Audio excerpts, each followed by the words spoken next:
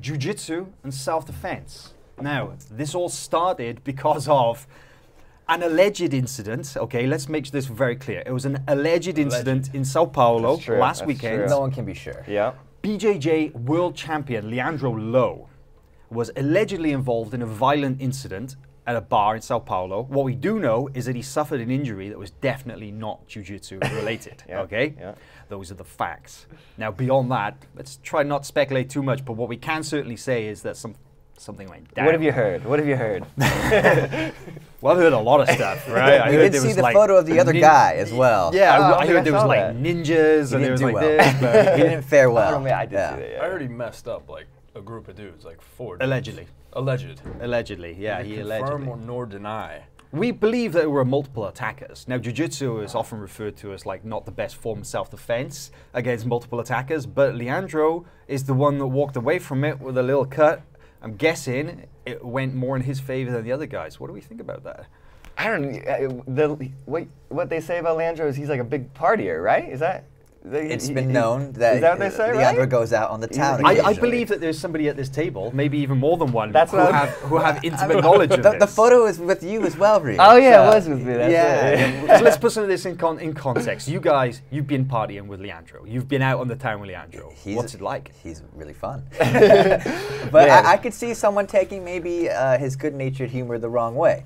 Leandro's pretty intense, uh, just as he is on the mats out in uh, the club or the street. So, Might rub people up the wrong way. very possible. I could see it. Hmm. Yeah, it sounds like there's a whole deep story there, and I don't. I'm kind of coming to it a little late. I'm still a little jet lagged and everything from the from the flight, but so it sounds like somebody hit him in the head with a bottle. Is that what happened? That's what he straight up said. Somebody hit him over the head with a Someone- bottle. He ended up with a, a gash on his on the top of his head, stitches. I mean, we have the photo on our website. You know, he's got his head bandaged up. It's all split open and stuff. That wasn't a knee or an elbow in jiu-jitsu. I mean, this happened on a Thursday night during Carnival in Brazil. And Oh, Carnival wow. is like a week-long party, right? So, you know, he wasn't in the gym when it happened. But like whatever you know snowballed on from there. The fact is that a jiu-jitsu world champion was involved in something that went down at a bar, and it opens up the question about jiu-jitsu and self-defense. So our contributor Josh Hinger wrote that fantastic article, basically calling out one of the greatest figures in wanna- I just jiu-jitsu of all time. put it out there that my opinion is that Leandro's a legend. Man, what a badass. Yeah. that's my that's my like like I, I don't know. It doesn't sound great. but, Like he probably did something I don't know to get hit over the head with a bottle. I've never get hit, hit over the head with the bottle because like We can arrange it. Yeah. yeah, yeah. so it doesn't sound great, but like that's I don't know. I think what a badass. That's that's my opinion on him. I think one, I think one of the points that Hinger was making in his article was that jujitsu, although it might not be the best form of self-defense, it prepares you for a fight. You know, your your instincts get better, your reactions get better, your cardio. You know, um, multiple attackers, that's a different story. So who knows really what happened, how it went down, if he was taking them on one at a time, if he was. You know, if he actually even took anybody to the ground, or this stayed on the feet and he was Yeah, 'cause swinging. Rickson said that sport jiu-jitsu is no good for a real fight. All right, self-defense or, or whatever it might be, Vale Tudo, that's his era, right? But a real fight, sport jiu-jitsu, Rickson says it's useless. And yet, one of the greatest current sport jiu-jitsu practitioners, one of the greatest athletes on the circuit, uh, walked away with a, a scratch after being attacked by multiple attackers. Sounds like it worked in his favor, huh? It's true.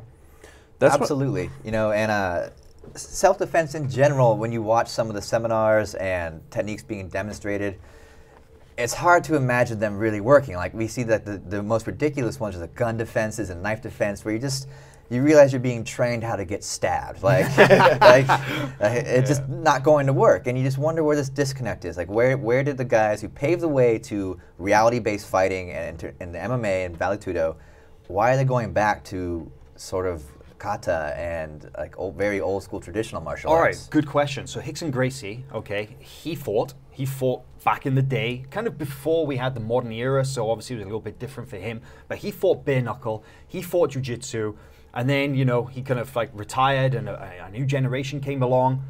Man, he's moved away from all of that completely. He doesn't train sport jiu-jitsu guys. He doesn't train MMA fighters. Now he's teaching self-defense, headlock escapes.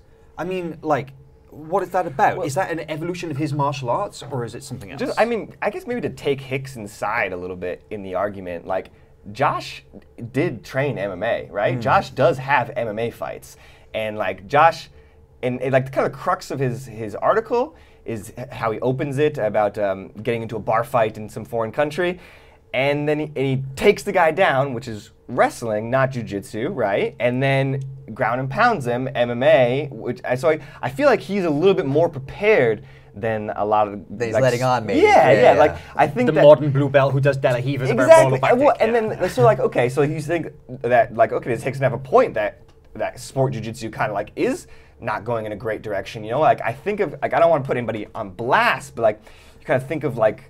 Um, people who don't have takedowns, like the Miyaos or or something like that, you know, like if they were in that situation, would they be able to double leg th- these big Irish dudes and, and ground and pound them? You know, I think I think Josh has a little. there's a little- He's leading on a little bit more than Leandro is also a, a gigantic He's man. a- he's a He's big-ass he's dude. a physical specimen. He so, is, He's yeah. a big dude. But my question is, okay, my point is this, I guess, is that, yeah, you know, you could argue that the tactics used by sport jiu-jitsu guys maybe aren't as effective in a real fight. You know, you won't see a guy pulling De La in the street or something like that. But let's just look at it from a sport jiu-jitsu point of view, right? That regardless of the tactics that I use when I'm on the mat, you know what it's like when you're grappling a day one white belt? Okay? And that's what the majority of people on the streets walking on mm. this earth are—a day one white belts. They've never done jujitsu in their life. And even a blue belt grabs hold of those guys and fucking toys with them like they're children. And a big, strong guy is suddenly completely fish out of water. He doesn't know how to move. He doesn't not prepared for it. And a blue belt can just take his back, choke him out with ease. Now, saying that that's not applicable to a street situation, that blue belt couldn't do the same thing. What do you think? It just seems wrong, and the evidence also indicates that. I mean, there's plenty of, of surveillance footage. I remember there's a, a famous case of some guy who was at an ATM. Someone came up behind him and started choking him. He got out of the choke and then took his back and left him unconscious. He was a blue belt when, when that happened, he said. So it's just the evidence is true. out there supporting sports jiu-jitsu, where the other evidence is just guys talking about how it doesn't work. Yeah, well, this is the thing as well is the pressure testing, right? It's like self defense. There's never any resistance to those techniques. I never see anybody struggling to escape from the headlock takedown. But that's what we do every day in jiu-jitsu. We struggle. Right. We know how to fight, right? I think another thing that's uh, that Henry said that's important to take into account is that um, you know um, jujitsu is. Sorry, I just forgot my point. just to, just to go He back, needs more fading away. self-defense training Yeah. just, just to go back to the, the takedown thing, like I remember going um, to Royal, which is an event that we have on Flow Grappling, right? A great event and features some like the biggest names, lower belts in, in our sport. And it's um, the, one of the rules is that you can't pull guard, right? And if you pull Mm. To keep guard, it real. yeah, yeah, Yeah. to keep it real. And if you pull guard in the first minute, you get a, po- a point deducted. And a lot of guys, a lot of these guys, you know, um, who are the Brazilians who are purple belt world champions, you know, brown belt world champions, they went out there and they pulled guard. And, uh, and So they just ate the point. so they, yeah, they Right, right. immediately got a negative point, you know. And then so I interviewed all these guys afterwards, and I talked to them, and I said, I said, hey, I was like, why did you why did you pull guard? And they said, well, what else was I gonna do? Like, 'Cause I- they don't train I don't. Yeah, do takedowns. I don't know how to do a takedown. I, like, he's like, my only option to get it to the ground is to sit down. So like, But but that's that, that, and those guys are really good. That's what Yeah, reminded you. She just reminded me of my point. Yeah. So here, here says that you know you, if you're in a fight, you would be smart enough not to pull guard, not to do a Yeah. berimbolo. You're not going to pull X guard Yeah. in a fight. You know, so like you also have to consider the situation. Right. So You, just get, you get into a dirty clinch, and then you pretty much just fall over. I bet would work. I mean, most people don't know how to wrestle either, so you just tie it up, and however ugly it is, you might even end up in a bad position in what would be sports jiu-jitsu. But if they don't know what they're doing, boom, you're on the back again. you know, Absolutely, so- and that's why jiu-jitsu is often touted as like the best form of self-defense because you know we've seen it time and time again that jiu-jitsu, sorry, the the the you know real life encounters, it's very quickly a, just a mess of limbs rolling around on the floor, people headlocking each other, and they have no idea what to do. And I think anybody with a jiu-jitsu, uh, uh, you know, rudimentary knowledge of jiu-jitsu in that situation is probably going to come out on top. But hey.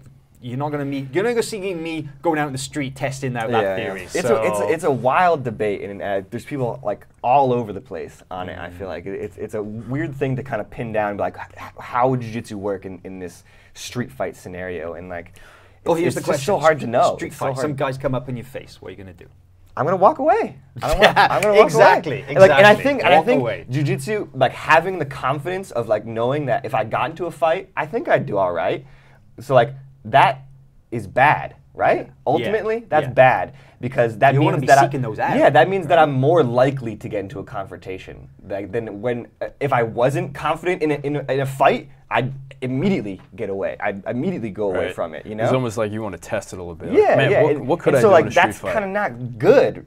Not a good thing. But I- right? I, Hell no. I think one of the good things about jujitsu, so Danaher said this, like what does jujitsu do? It it closes the space, right?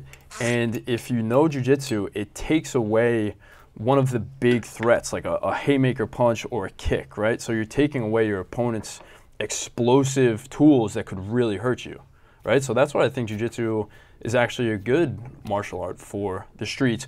Of course, with you know stipulations. You're not berimboloing. You're not pulling guard in the street. I think cardio is a, is uh, going to be the difference maker. If, if you can go like longer than 30 seconds in, in that type of scenario, like Man, I Right. don't know. That even though, like, even a trained guy, you get that big adrenaline dump right That's at that. Ooh, But it's maybe if you compete a lot, here's the argument for the competitor. You know, you're used to that, and, and maybe you do go into autopilot of some sort. And that other guy, man, he gasses out hard, and again, you win with jiu-jitsu. And so. if you had a few drinks, who knows? you might, you Which might you be Iron Man out there. Probably have if you get into street fights. Let's be real. Like that's something that happens when you're out partying. crazy debate. I'm really, really glad that uh, Josh wrote that article, though. Really, really great article. Definitely something uh, we as the uh, jiu-jitsu community I think sh- he, should be he- talking about. he also made a good point: is why can't it be both? Why can't we have self-defense jiu-jitsu? Why can't we have sport jiu-jitsu? Well, I come from an era when, when I started jujitsu, in our gis, we used to have one guy put on a pair of boxing gloves, and the other guy